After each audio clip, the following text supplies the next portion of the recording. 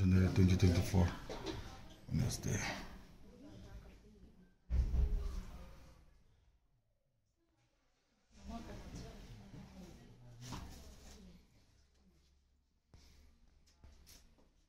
Und hat sie bei Ihnen gegeben?